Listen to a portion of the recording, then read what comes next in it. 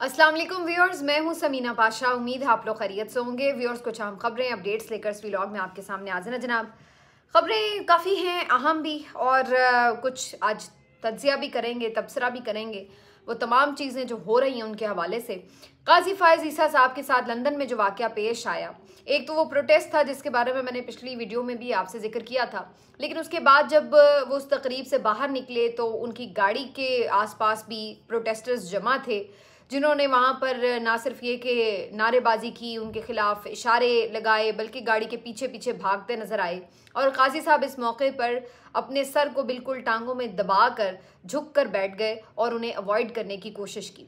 लेकिन इस सारी सूरत हाल के ऊपर अब जो तबसरे तजिया आ रहे हैं और जो रिएक्शन आया है, विफाकी वज़ीर दाखिला मोहसिन नकवी साहब का भी, इस सब का जायज़ा लेते हैं कि इसमें क्या गलत है और क्या सही है, इसके ऊपर बात करनी ज़रूरी है। आज मियाँ गुल हसन औरंगज़ेब साहब ने भी तिया पांचा कर दिया है जुल्कर नैन हसनात साहब के इंसाफ का, जो वो करते फिर रहे हैं। और जिस तरीके से उन्होंने नाइंसाफ़ी के रिकॉर्ड कायम किए हैं तो आज उन्होंने जो रिमार्क्स दिए हैं मियाँ गुल हसन औरंगज़ेब साहब ने, वो सुनने लायक हैं। मेरा ख्याल है कि उनके रिमार्क्स जो हैं पूरी चार्जशीट है। उनके बाद जज जुल्कर नैन अबुल हसनात को जज नहीं रहना चाहिए। लेकिन चूँकि हमारे मुल्क में तो आपको पता है, आजकल ऐसे ही लोगों की चांदी है, ऐसे ही लोग ज़्यादा बड़े अहदों पर पहुँच जाते हैं। मुझे तो इस बात का खदशा है कि इन रिमार्क्स के बाद उन्हें इनाम के तौर पर अबुल हसनात साहब को कोई मजीद नया अहदा ना मिल जाए। आ, कहीं पता लगे कि वो भी हाई कोर्ट के जज तैनात हो गए तो सूरत हाल ये भी हो सकती है हमारे मुल्क में क्योंकि हमारे मुल्क में कोई जितना भी करप्ट है जितना कोई ना अहल है जितना कोई शाह से ज़्यादा शाह का वफादार हो सकता है, जितना कि कोई बेज़मीर हो सकता है, उतना बड़ा उसको अहदा मिल सकता है। ये हमारे मुल्क की सूरत हाल और हमारे मुल्क की सूरत हाल ये है कि काबिल लोग, काबिल एहतराम लोग तहजीब याफ्ता लोग, उनके लिए इस मुल्क में पढ़े लिखे लोगों की कोई जगह नहीं है। और इसकी एक मिसाल डॉक्टर सानिया नश्तर साहिबा हैं, जो कि एक इंतहाई नफीस, इंतहाई काबिल ख़ातून, जो कि इंटरनेशनल इदारों में अपना सिक्का मनवा चुकी हैं। उनको आज सेनेट की निशस्त से इस्तीफ़ा देना पड़ा है। वो भी तंग आ गई हैं शायद, जो रोज़ रोज़ तमाशे हमारे मुल्क में लगते हैं। तो उन्होंने आज इस्तीफ़ा दे दिया है। और ये तकलीफ़ दे बात है कि ऐसे लोग जो मुल्क के लिए एक पहचान है, बायस फ़ख्र हैं, उनको इस्तीफ़ा देना पड़े। पढ़े लिखे लोगों को यहाँ पर मारे पड़े और जो आपके जाहिल तरीन लोग हैं, उनको आप अहदों से नवाज़ दें। ये तकलीफ़ दे बात है। इस चीज़ के ऊपर तकलीफ़ होती है और फिर वो तकलीफ़ एक रिएक्शन की सूरत में निकलती है, जिसके बाद फिर जो उस तकलीफ़ में बाकायदा लोग शामिल होते हैं, फिर उनकी भी चीखें निकलती हैं कि, ओहो जी, अब ये रिएक्शन क्यों आ गया? इसके ऊपर बात करते हैं तफसील से। मौलाना फजलरहमान साहब ने आज कुछ सहाफ़ियों से गुफ्तु की है और इंपॉर्टेंट बातें की हैं उन्होंने, आपके सामने रखेंगे। और बात हो रही है आजकल नवाज़ शरीफ साहब के दौरा अमरीका के हवाले से भी तो इसके ऊपर भी थोड़ी बात करेंगे। तो आपसे रिक्वेस्ट है कि चैनल को सब्सक्राइब कर लें, अगर अभी तक सब्सक्राइब नहीं किया। काजी फायजिसा साहब जब वापस आए हैं, जिस वाक़े का मैंने ज़िक्र किया है अब उसको मैं रिपीट नहीं करती, लेकिन जिस अंदाज से उनकी गाड़ी को लोगों ने घेर लिया और जिस तरीके से उनको लानत लामत की, यकीनी तौर पर मैं ये कतई नहीं कह सकती कि ये बहुत अच्छी बात है और ऐसा होना चाहिए और ये बहुत ज़रूरी है या ये बड़ी खुशाइंद बात है। लेकिन बात यह है कि इससे पहले कि हम इस चीज़ को कंडेम करें या इस चीज़ को बुरा समझें, इस चीज़ का जायज़ा लेने की ज़रूरत है कि ये नौबत आई कैसे है। इतने सबक चीफ जस्टिस साहिबान हैं, बाहर भी जाते हैं, लोगों से भी मिलते हैं, सब कुछ होता है। उनके साथ ये नहीं हो रहा तो इनके साथ आखिर क्यों हुआ है? ये सोचने की बात है। कि आखिर इन्होंने ऐसा क्या किया है अपने दौर में कि इनको ये सूरत हाल जो है, वो देखनी पड़ रही है? अगर आपने इतने ही बड़े इंसाफ में मबनी फैसले किए थे तो फिर सीना चौड़ा करके गाड़ी में बैठते ना? फिर मुजाहरीन को फेस करते ना? मुँह क्यों छुपा रहे थे? क्यों फिर आप उनको अवॉइड कर रहे थे? अपनी अदालत में तो आप बड़े फिरौन बने होते थे, लोगों को आप बोलने नहीं देते थे, वकला को नहीं बोलने देते थे, उनको टोकते रहते थे, बदतमीज़ी करते थे, लोगों के नाम, नसब उनके ऊपर एतराज़ करते थे। व्हील चेयर पर एक आई हुई थी खातून, उनके साथ जो आपने किया, वो सबने देखा। और कौन भूल सकता है वो मुस्तफ़ैन काजमी को? उनके साथ जो हुआ कि आपकी अदालत में उन्होंने बुलंद आवाज़ में बात क्या कर ली? आपने पिटवा पिटवा के उसको मौत के करीब पहुँचा दिया बेचारे वकील को। तो ये आपकी फिरौनीत की मिसालें थी। और आपसे कोई दाद रसी की बात करता था तो आप कहते थे कि मेरे सामने तो कुछ हुआ ही नहीं। मैं क्या करूँ? ऐसे ही लोग बोलते रहते हैं। हर वक्त आप दूसरों को जाहिल समझते रहे। हर वक्त आप दूसरों के ऊपर अपनी फिरौनीत का रोब झाड़ते रहे। ये सब था आपके अंदर। तो आज भी उसी तरह बैठते ना? फिर आज क्यों आपने अपना मुँह छुपा लिया? इसका मतलब है अहदे का जोम था। सिर्फ़ अहदे की एक ताकत आपको महसूस होती थी और उसके नीचे आप तमाम लोगों को दबा लेना चाहते थे।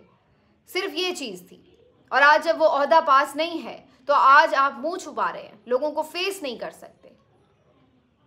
और इस सारी चीज़ के ऊपर मैं हैरान हो रही थी कि कुछ जो हमारे बहुत तजियाकार हैं, सहाफ़ी हैं, दानश्वर हैं वो भी बड़ा इसके ऊपर चीख रहे थे कि जी बड़ा उनके साथ ऐसा क्यों हो गया?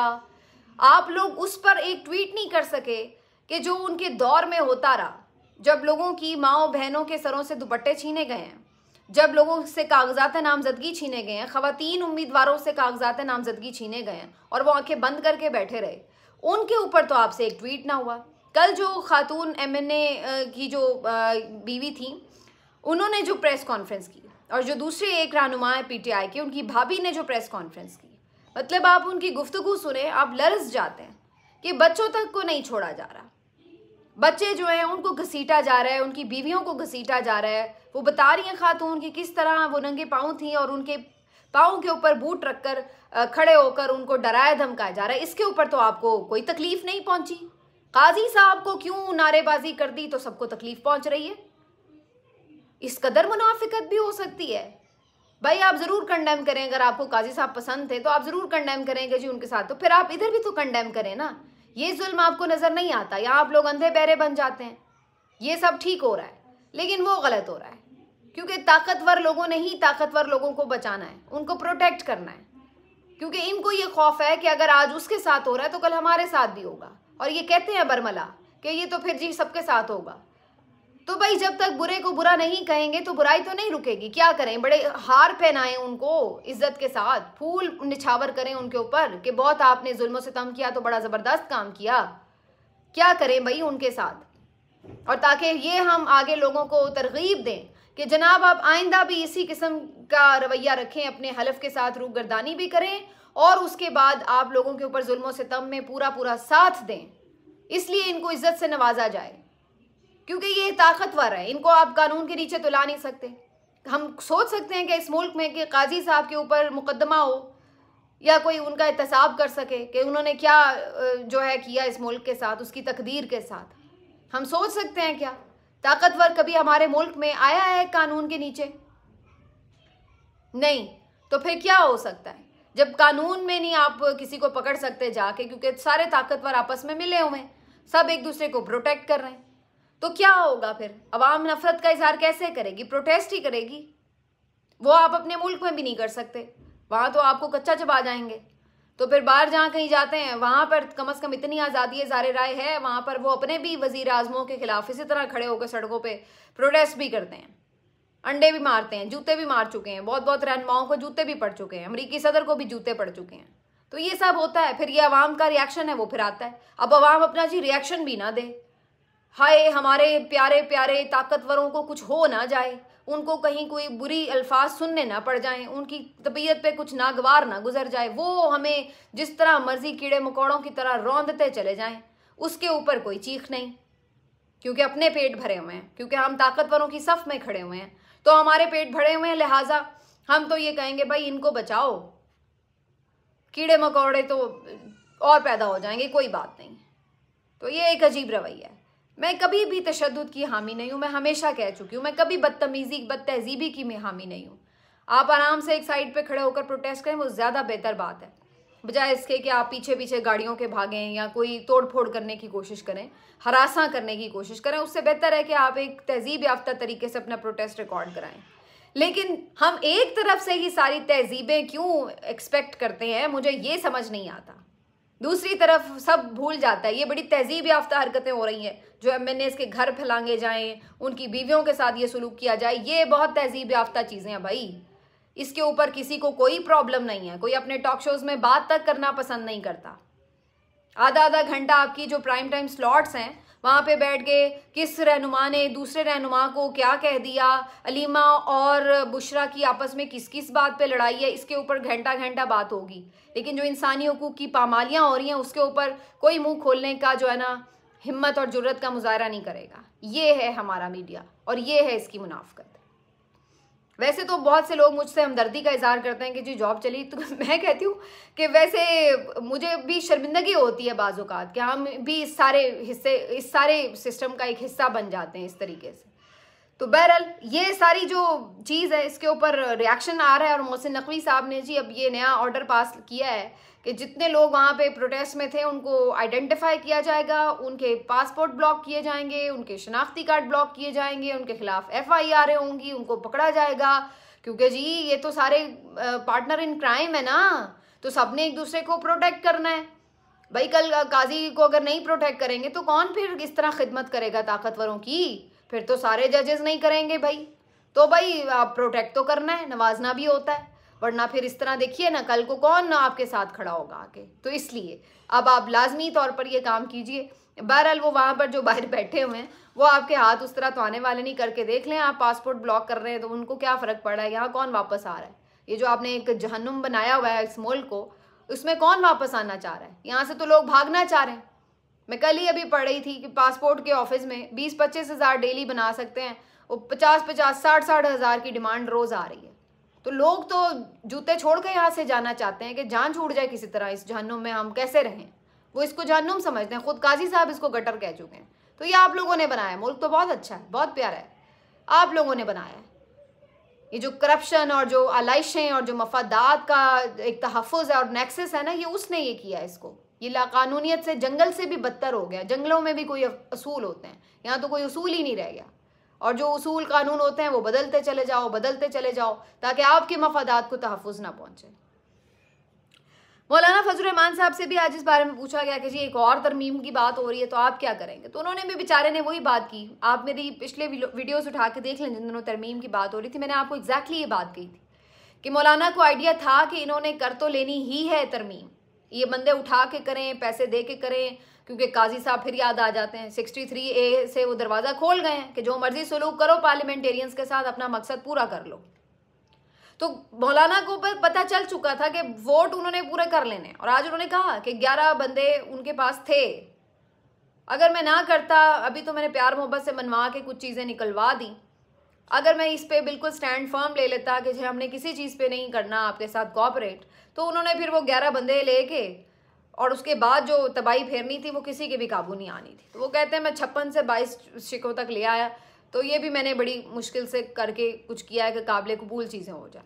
तो यही एग्जैक्टली exactly मेरा इसके ऊपर तजिया था कि मौलाना जो है, वो इस चीज़ को सिर्फ़ थोड़े हद तक डिफ्यूज़ करना चाहते हैं कि जितना भी हो सके। अगर वो सिंपली कह देते कि जी हम नहीं तामुन कर रहे तो फिर उन्होंने वो सब भी कर लेना था जो उन्होंने अभी थोड़ा सा मौलाना के रख रखाव में पीछे थोड़ा बहुत लिहाज करने की कोशिश की है। और उसी का नतीजा है कि आज ये फंसे भी हुए हैं। छब्बीसवीं तरमीम करने के बावजूद भी फंसे बैठे हैं। तो ये सारी चीज़ें। और मौलाना आगे देखते हैं कि क्या है। अभी तक तो उन्होंने यही कहा है कि सत्ताईसवीं तरमीम का तो कोई सवाल नहीं है और ना वो इसके ऊपर कोई फर्दर बात करते हैं। वो कहते हैं, जो हमने करना था, जो हम कर सकते थे मैक्सिमम, वो हम ऑलरेडी कर चुके हैं। बाकी जी भाग दौड़ लगी हुई है और तकलीफ़ बहुत दूर तक है। मसला नज़र आ रहा है कि आगे मसाइल बढ़ रहे हैं। एक तरफ़ अदलिया से भी ख़तरा महसूस कर रहे हैं तो दूसरी तरफ़ इंटरनेशनली जो प्रेशर बन रहा है, उसका भी एक दबाव है। और अब मियाँ साहब के हवाले से भी आपको याद होगा, जिस दिन वो अमेरिका गए थे तो मैंने उसी दिन ये बात की थी कि मियाँ साहब की कोई वहाँ पे मेडिकल हिस्ट्री है नहीं, उनका सारा इलाज लंदन में ही होता रहा है। तो वो लंदन से अमेरिका क्यों जाएँगे इलाज के लिए? तो अब वो बात सामने आ चुकी है। अब हर दूसरा आपको, हर दूसरा शख्स, हर कोई सहाफ़ी ये बता रहा है कि बेसिकली वहाँ पे मकसद सिर्फ़ यही है कि आने वाला जो एक टाइम है, उसको संभालने के लिए अपने लिए स्पेस पैदा की जाए। अगर उन्हें ये शक है कि डोनाल्ड ट्रंप आ जाएँ तो इनके लिए स्पेस कम ना हो जाए तो उस चीज़ को अपने लिए प्रोटेक्शन करने के लिए ये वहाँ पहुँचे हुए हैं। उसको एक लॉबिंग कह लें आप, या मुलाकातों में जिस भी तरह उसको एक, इस तरीके का बनाना चाहते हैं सिलसिला। कि जिसमें इनके लिए स्पेस रहे, कोई इनको तंग ना करे, इनको प्रेशर ना डाले, उनको ये पूरा यकीन दिलाएँ कि जी हम आपकी आपसे बढ़कर गुलामी करेंगे, आपने कोई टेंशन नहीं लेनी, जो आप कहेंगे हम उसी तरह चलेंगे। बस आपने हम पे ये दबाव नहीं डालना कि इमरान खान को छोड़ दो। तो ये अब जो है, वहाँ पर अपनी जो है दाल गलाने के लिए गए हुए हैं और इसका कोई ख़ास मकसद नहीं है। और उधर शबाज शरीफ साहब भी गए हुए हैं सऊदिया में बिलावल के बारे में भी यही सुनने में आ रहा है कि वो भी पहुँच रहे हैं अमरीका। तो ये सारों की दौड़ें जो हैं बेसिकली लगी हुई हैं।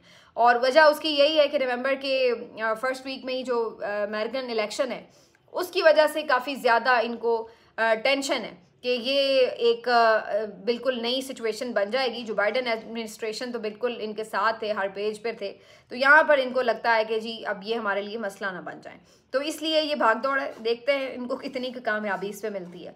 आखिर में थोड़ी सी मैं बात करूँगी जस्टिस मियाँ गुल हसन औरंगज़ेब साहब की, जो बहरहाल इस्लामाबाद हाई कोर्ट में हमें नज़र आता है कि कोई जजेस तो मौजूद है यहाँ पर जो कम अज़ कम इंसाफ का परचम बुलंद करना चाहते हैं। तो आज उन्होंने ठीक ठाक अंदाज में ये जो अबुल हसन हसनात नैन साहब हैं, इनकी क्लास ली है इंसदाद दहशत गर्दी अदालत के ये जज हैं और इनके पे दर पे पे दर पे ऐसे फैसले सामने आ रहे थे जिसमें ये प्रोसीजर फॉलो नहीं कर रहे थे। आज भी रिमांड से मुतलिक इनके सामने जो केस आया तो वो फट पड़े बिल्कुल, मियाँ गुल हसन औरंगज़ेब। और कोर्ट रिपोर्टर्स कहते हैं कि हमने शायद ही कभी उन्हें इतने गुस्से में देखा हो जितने आज गुस्से में देखा है। और उन्होंने कहा कि ये किस किस्म का जज है? हमने पहले भी इनके बारे में लिख के दिया था कि इनको हटाएँ यहाँ से। लेकिन वज़ीर कानून, वजारत कानून तो बाकायदा इनको ऐसे लग रहा है कि सपोर्ट कर रही है। और ये अभी तक यहाँ बैठा हुआ है, उन किस तरह के अल्फाज थे? ये अभी तक यहाँ बैठा हुआ है और ये काम कर रहा है क्या इसके कैमरे नहीं लगे हुए अदालत में कि क्या काम करता है? आज़म सवाती को पेश ही नहीं किया गया टाइम के अंदर। और उसका जनाब रिमांड दे दिया और प्रोसीजर ही फॉलो नहीं किया। और इसी तरह से ये ईमान मजारी साहिबा और जो आज हादी चट्ठा साहब हैं, उनके जो शोहर हैं, उनका भी रिमांड मअतल हो गया।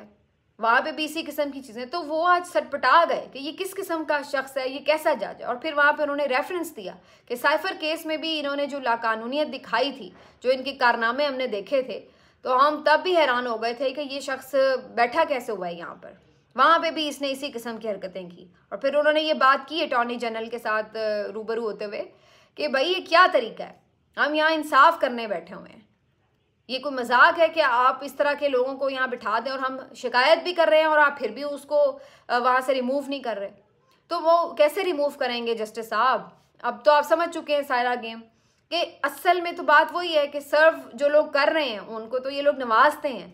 वो चाहे फिर दिलावर साहब हों चाहे वो अबुल हसन, हसनात, जुलकरनैन साहब हों, या कोई और, काजी फायजीसा साहब हों, फिर सारे ऐसे लोग जो इनके साथ मिलकर चलते हैं, इनके कहनों के ऊपर सजाएँ भी देते हैं, सब कुछ करते हैं, वो बेचारे फिर इनको प्रोटेक्ट करना पड़ता है ना इनको? तो ये क्या करें? कैसे उन्हें रिमूव करें? आपका कल्पना ठीक है अपनी जगह, लेकिन आप समझ तो गए सारी गेम क्या है।